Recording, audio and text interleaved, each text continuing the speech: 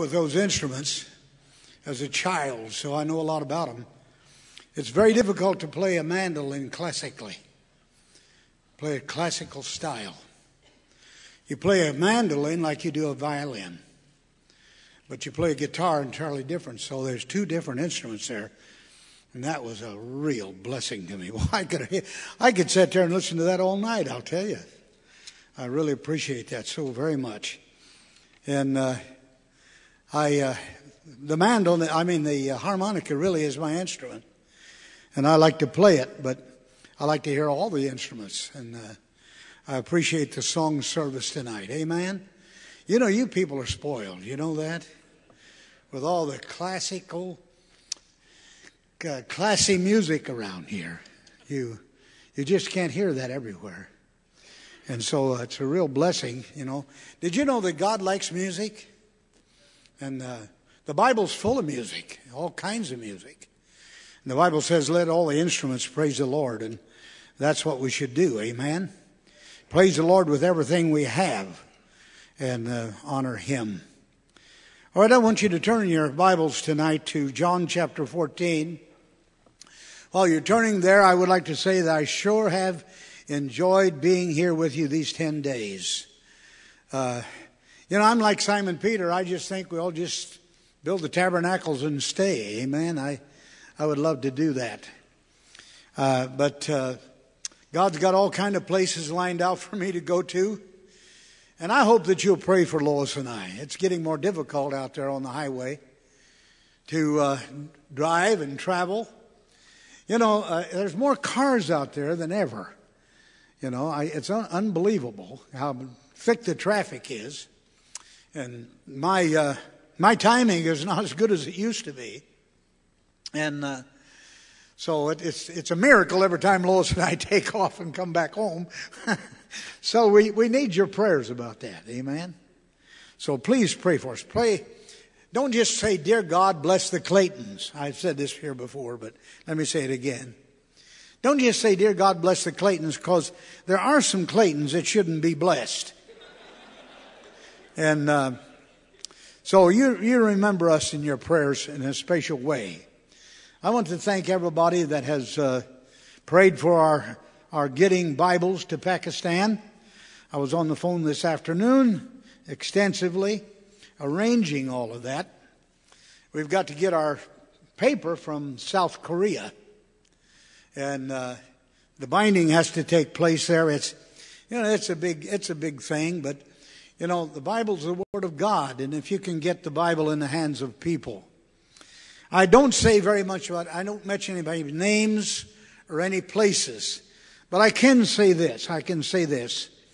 We're going to take a lot of those Bibles to Karachi, Pakistan. I first got interested in Karachi, Pakistan back in 1952. No, 50, 59 is when I got interested in Karachi, Pakistan. It's a big city. It has a history like you can't believe. If you want to read something exciting about a history, read the, read the uh, history of Karachi, Pakistan. It's unbelievable. And so we hope that you'll be praying for us in that particular way. I believe in your prayers. I really do. And God's working this all out for us. He really is. And uh, like uh, so oftentimes He does in our ministry, He gives us all that we need. And sometimes that's a very expensive pro- proposition. And uh, so uh, God, uh, God's able to do all of that. And I, I don't tell people how much money I raise. I don't, I don't do that. I don't go around telling that. But God, God's always supplied abundantly our needs in the ministry and especially getting the Bible out throughout the world. And so, uh, you know, uh, just uh, it's just amazing. It, you know, I'm just a poor farm boy. You know what I mean? I told the people today at lunch. Uh, oh, that was a good lunch too, wasn't it? Huh? Wow, how many of you were at lunch today? All of you old folks. Well, raise your hand. Come on, put it up. Oh, you're too full to raise it. I tell that. Well, for supper tonight, I had a half a bologna sandwich. How many of you eat bologna? Come on, I'll confess it. Yeah, okay. Bologna is good stuff. I, Jared bought it for me, so blame it on Jared. All you health food people. No, I told him to get us some bologna. when we were kids, bologna was a real treat, you know. So uh, I ate, that's all I had was a half a bologna sandwich. For don't you feel sorry for me? But I had such a big lunch. That's all I needed. We had a good time there at lunchtime with the senior citizens. And, uh, you know, Lois and I, I guess, are senior citizens now. And uh, we get all kind of discounts. Senior citizen discount. They don't ask me any identification. They just look at me and my face is identification enough. But uh, uh, we thank you so much. Oh, I enjoyed being in the college. I could talk a long time on that. The fun thing to be in the college this week. Those students are good people. You know that? And you're really making a contribution here to world evangelism through those students. And we thank God for that. Thank God for our masters. And uh, I've uh, really been involved in a lot of colleges over the years. And uh, God has permitted me to help a bunch of colleges over the years, all over the world, actually. And uh, I'm thankful for the Bible colleges that we've been able to teach young men and women uh, about the Lord. That's so important. I'm really not a great teacher, I'm just a preacher. God called people to do a lot of things, but God called me to preach. And that's what I like to do, and that's what I do. So I was able to preach three hours a day this week and then other occasions, and I've enjoyed it every bit. I could preach. Uh, you know, somebody said, you know, Brother Clayton can preach at the drop of the hat, and he'll drop the hat. Amen. All right. John chapter 14, just a couple verses here in the beginning of the John chapter 14. Jesus said, Let not your heart be troubled. Ye believe in God, believe also in me. In my Father's house are many mansions. If it were not so, I would have told you. And if I go and prepare a place for you, I will come again and receive you unto myself, that where I am, there ye may be also. May the Lord add his blessing to the reading of his word tonight. I'd like to preach to you something about the idea of saying goodbye. Jesus saying goodbye to his disciples.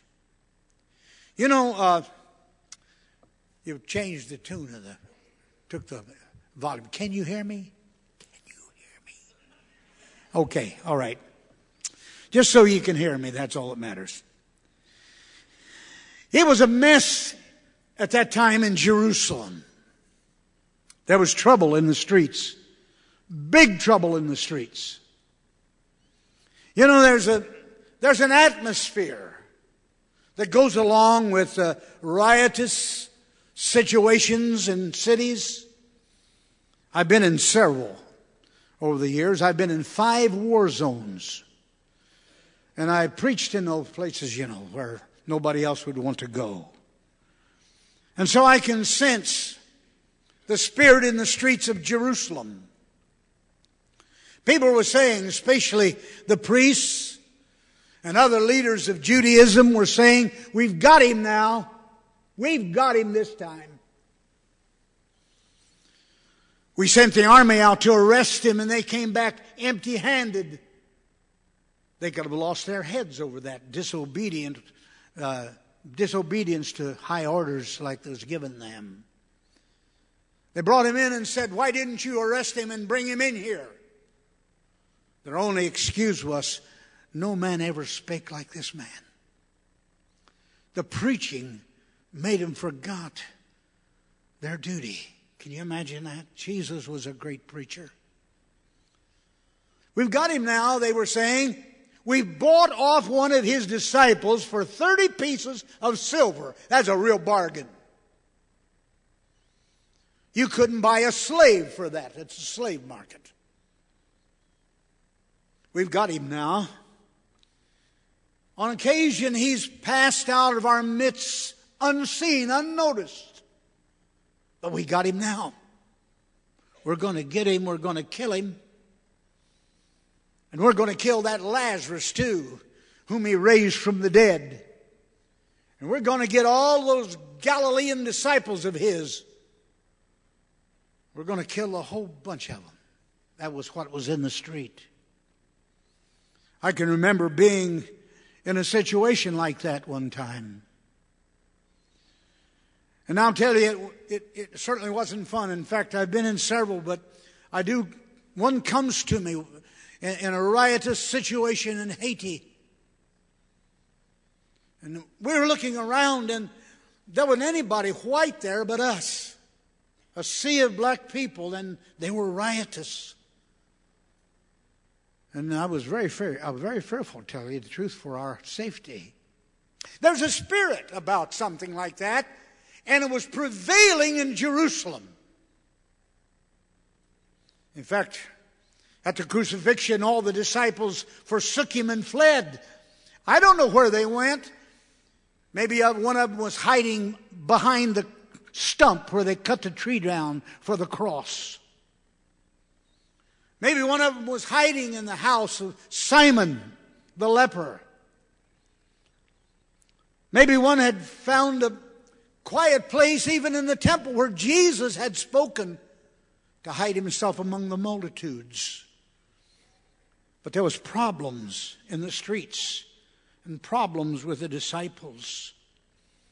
Jesus had already told the disciples I'm going to leave, uh, I'm going to leave and go to Jerusalem. I'm going to leave Jordan and go to Jerusalem. And when I get up there, I'm going to die. I'm going to be, I'm going to be killed. I'm going to offer myself a sacrifice. And Thomas said, let's just go up to Jerusalem and die with him. Peter had bought a sword. And he said, I'm going to die with you. I'm going to fight with you. I'm going to stay with you. And Jesus said, Oh, no, you're not. You're going to deny me three times before the morning comes and the cock will crow. You see, Jesus had come into this world through a barn door, and now he's going to leave it by a bloody cross. He'd come into this world with the hosts of heaven saying Hosanna to the highest. Now he's going to leave it with the mobs in the streets crying, Crucify him, crucify him.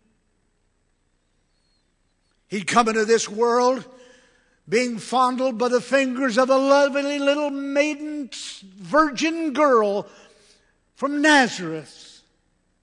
Now he's going to leave it by being beaten to a pulp by the fists of angry Roman soldiers. He's going to be covered with his own blood and lacerated in the face until they could not even recognize him as a human. Hair all pulled out. Probably head twice the size from the beating he took. He's going to go to the cross. He'd come into this world as the virgin born Son of God. Now he's going to leave the world as the sacrificial lamb offered on the altar of God for the sins of the whole world. And here he gathers his disciples to him and he says to them, I'm going to go away. I'm going to leave you. It must have sounded like the drum of a funeral dirge pounding through the streets with the rhythm of a heartbeat when he said, I'm going to leave you. I'm going to go away. Wow. I'm sure that Paul I mean, that Peter would say, To whom shall we go? Thou hast the words of eternal life. If you leave, what, what have we got left? Wow. Where are we going to go? We're going to go back to Judaism, that lifeless, mass of laws that cannot even forgive us of our sins. Where are we going to go? We're going back to the priests in the temple whose lives are worse than ours. Where are we going to go? Are We're going to go back to Moses' law. Wow. You're going to leave us. I don't know if you've ever said goodbye to someone dear to you. Maybe you said goodbye to someone at the cemetery, standing by a new dug grave. Over the dirt spread carpet, and there was flowers on the coffin lid, and the name of the dead person was not even carved on the tombstone, and you stood there and you wept and said goodbye. I don't like to say goodbye. I hate to say goodbye. I've said goodbye all my life. I started out as just a boy, 16 years old, leaving home. And I said goodbye to my mom and daddy. And at 18, I left home as a boy again to go into the ministry of evangelism. And I said goodbye to my mama on the back steps of our little country home. And I kissed her cheeks covered with her own tears. I got in the car and started down that road and across the railroad tracks. I looked back and Mama was waving goodbye with a handkerchief soaked with her own tears. I don't like to say goodbye. I've said goodbye to my loved ones sometimes that I knew on this earth I'd never see again. I said goodbye to my wife on two occasions when I was gone for three months in evangelism and not able to call her, not able to write her, not even able to telegraph her, not one word. She didn't know whether I was alive or dead in the Amazon jungle. It's hard to say goodbye. I don't like to say goodbye. Goodness, I hate it. One time we had been on the road with our grandkids all of them were with us. All the grandkids were with us at this time. And we traveled all over the country. I think we all came here at one occasion. And we traveled all over the country and holding meetings, revival meetings, and children's programs, and all of that kind of thing, and thing of evangelism. And, and finally, the boy said, Dad, you know, uh, we want to pastor a church. Uh, and and they, they started saying, you know, we're, we're going to look for a church and, and pastor a church. I, I told them, I said, you, you, can, you can leave us if you want to, but leave the kid, grandkids with us. They wouldn't do that. After they had uh, got settled in churches, we went back to Steve's church in Salina, and the kids came running out when we pulled our rig up in the backyard of their farmhouse. And the baby of the family ran out and jumped in my arms. He just jumped and I grabbed him. He put his little hands on my face. I'll never forget it. He looked at me and said, Grandpa, no more goodbyes. He wanted my attention. That way, Mama talked to him sometimes, you know. He said, Grandpa, no more goodbyes, Grandpa. No more goodbyes. I don't like to say goodbye, but Jesus was saying goodbye here. I have to tell you that I remember on the farm when I was a boy, my dad one morning spoke to us at the table. It was me and grandma and, and mom and dad at the table, and he said to us, Grandma and I didn't know, mom knew, but he said, I'm going to have to leave the farm. There's not enough money here really for me to pay the bills, and I'm going to have to go to Zanesville and, and, and have a job, and, and I'll be gone for a while. And, and boy, it startled me that Dad was going to leave. Well, it wouldn't be right around there. Dad was the authority of that house and that family. And he said, Babe, you're going to have to be the man of the house now. And I was just a little boy. He said, I want you to take care of the barnyard and make sure the, the eggs are gathered in the in the chicken house and make sure that there's cobs in the box for mom's stove and coal for the heating stove and You, you take care of the garden and you take care of everything in the house. And boy, I mean, I got a, I got a, a, a empty place in my stomach and, and I, I felt, uh, I felt totally unapt and I, unable to do that kind of a thing. Dad was going to say goodbye. I remember that big old green truck coming down over the hill and across the river bridge. I could see it out of the big farm window in our kitchen. And it came up our old gravel road with billows of dust rolling behind the dual wheels of the big old Dodge truck with cattle racks on it. And it drove up and underneath our great big old cottonwood trees. that turned up our rocky drive and came up to the back door. And Dad went out with a box that Mom had prepared him and got in the truck.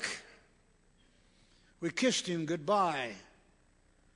And he started down that road, down the gravel road, across the creek bridge, across the river bridge, up over the hill and out of sight. Boy, I, I felt at unease. I mean, I was in charge now. Dad was gone, and, and he had said goodbye. Man, I got everything ready. I got my little dog and tied him on the back porch. He would have tore that place up if anybody would have come around there. I got my little 22 rifle and put it by my bed and made me a little club to defend mom and grandma. Somebody would have come on there to hurt. They had to kill a little country boy to get ever get to my mama. I'll tell you that. I was in charge. Jesus is saying to the disciples here. Later on, he says, "Greater works you're going to do than I've ever done." And I'm sure that they felt like, without you, wow. We don't want you to leave. We don't want you to be gone. But Jesus is saying goodbye. Whew. But he says this when he says goodbye. He said, You know, I'm going to go away and prepare a place for you. I'm going to leave, but I'm going to prepare a place for you. You know, I'm going to give you a spatial a special place to spend eternity. Boy, that's going to be something, amen? When in six days he made everything we know, he made the Rocky Mountains covered with little mists and clouds like halos in the sun. He, he made the wide rivers, he made the oceans, he filled them full of all kinds of life. Hey, listen, Jesus did everything we know today in six days, and He's been away 2,000 years preparing a place for us. How beautiful heaven must be. Sweet home of the happy and free, a haven of rest for the weary. How beautiful heaven must be, the old song says. He said, I'm going to leave you, but I'm not going to leave you comfortless. I'm going to leave you with a promise. The promise is, I'm going to go away and prepare a place for you. It's going to be a wonderful place. Uh, that there's no policeman there because there's no crime. No little abused girls, no abused wives. No one's abused there because there's no criminals. Nobody's going to be sick there because there's no hospitals. Amen. It's a place of happiness and joy. It's a place where we'll never say goodbye. The old song says, We'll never say goodbye in heaven, in the glory over yonder. We'll never say goodbye in heaven. We'll never say goodbye up there with all the insecurity and sorrow that went with the, along with the goodbye, there was joy in the hearts of everyone, even of us here tonight, by saying, one of these days, we're going to go to that place. Jesus is preparing a place for us. And there'll never, never be any goodbyes there ever again. He said, I'm going to go away. But I'm going to prepare you a place. I told, told a little dying lady in North Carolina, Charlotte, North Carolina hospital one time. Won't be long until you go up there, but when you get up there, they're going to put you to work because they're building New Jerusalem up there now. I said, You'll probably go up there and work. She'd worked hard all of her life. Her little fingers were twisted and gnarled from the hard work she had done, taking care of her family without a husband. Now she's going to die and go to heaven, and there's all kind of activity there. And I told her, I said, when you get to heaven, I want you to find my mother. She'll be in the kitchen. That's where my mom will be, cooking cinnamon rolls. And I said, When you find her, she said, Brother Clayton, you think I will? I said, Sure. You're going to be smarter up there than you are here. Find her and tell her that her baby boy still loves her, and one of these days I'm coming to see her again. Wow. Jesus said, I'm going to leave you, but if I leave you, I'm going to come again. Well, that, that ought to be joy to all of our hearts here tonight. We're going to lay down our burdens down by the riverside. Wow. We're going to, we're going to meet the Lord Jesus face to face, and we're going to see all the grandeur of God in heaven. We're going to see God on the throne. Wow. We're going to hear the angel choir saying, Hosanna to the Lord in the highest. What a thing that is. We're going to, I mean, that's what I anticipate. That's what I long for. More than any other thing I can think of tonight. I long for that day when the Lord comes and takes us away, gets us out of here. Get us away from all the trouble and strife and all the junk that goes along in this world and away from politics. Won't that be something? No politicians in heaven, I don't think. Maybe there will be some, I don't know. but uh, little boy said, little girl said, Brother Clayton, how can you tell when a politician's lying? I said, I don't know, hon. How do you tell? She said, when his mouth's moving. I said, well, that's not every one of them for sure, but maybe it's a majority. I don't know.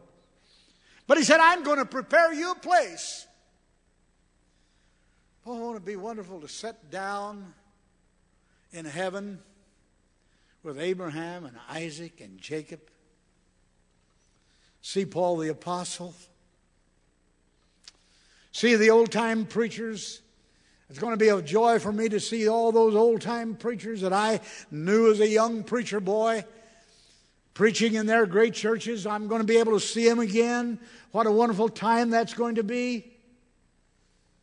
And I'm going to see my loved ones. I've got five brothers over there and four sisters. Boy, it's going to be a great time when we see them again. Wow. The Lord said, I'm going to go away, but I'm going to prepare you a place.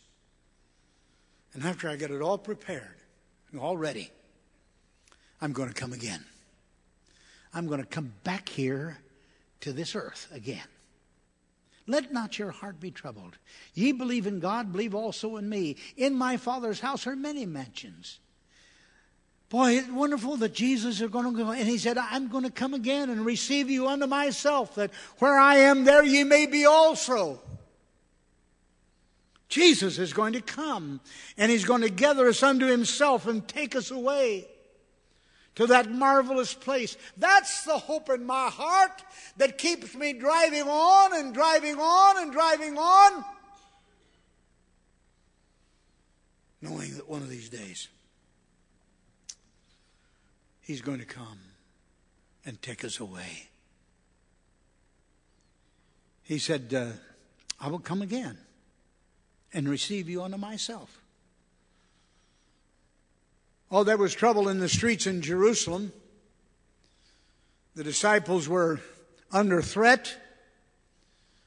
There was uh, problems all around Israel, and uh, just looming up before Jesus in hours after he had said this was that bloody cross, but this wonderful assurance lifts the spirits and drives us on. And all the things that the Lord wanted to do through the disciples had been laid out and now, when the Holy Spirit of God comes at Pentecost to dwell within the local church, it's going to be a wonderful event and a victory like nobody has ever seen before. Hallelujah to God. He said, I'm going to come again. Or I remember when I was a boy, Daddy had written Mom and said, I'll be home at such and such a time. Mama had got everything. I got everything ready for him to come. I, I went out and mowed the grass and picked all the weeds out of the garden, even the little tiny weeds like that around the corn. I got everything out of that garden as far as weeds are concerned. I cleaned up the barnyard. I had, I had everything. Mom had fixed up the house and she had been cooking all morning, getting all the things ready that Daddy liked.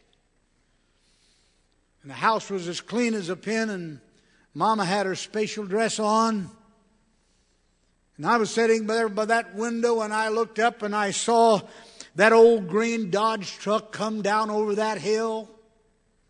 I blinked my eyes because I've always had one bad eye and sometimes I don't see well. And I thought, well, maybe, am I imagining this? And no, sure enough, it was that Dodge truck.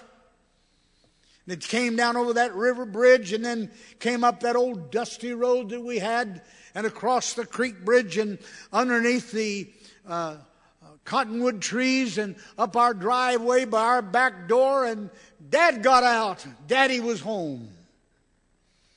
And it seemed like that everything just shifted in gear. It just wasn't balanced while Dad was gone, but all of a sudden everything balanced out, and Daddy was home and all was right. I could sleep all night that night, the first time since Dad was gone that I did. Boy, what fun it was when Daddy came. One of these days, the Lord Jesus is going to come. Boy, it's going to be a great day. You know what he's going to do? He's going to come and get us all together, all of us born again people, and he's going to take us up, up to heaven, and we're going to be up there seven years. And in that seven years, he's going to be passing out rewards. Well, you call, talk about Christmas under the tree. That'll be a greater day than all of us has ever seen when the Lord passes out our rewards to us. And and, and we're going to be able to we're going to be able to enjoy heaven and the presence of the Lord there for, for seven years. And after the seven years is over, together we're going to come back with him back to this earth, and we're going to take this dude over. The politics are not going to run Washington. We are. But we'll do some straightening out, won't we? We'll go down to towns and we'll go walking down Main Street and we'll close every bar and every brothel and we'll put a sign on the front door closed for a thousand years. We'll set up his kingdom. And Jesus will march in Jerusalem and take over Zion's hill, and he'll set up his government there that'll rule and reign for a thousand years, and we're going to have a part of that. And we're going to have us a brand new body. I'll take a nice thin one. Thank you very much. But looks of some of us here tonight, we could sure stand one, couldn't we?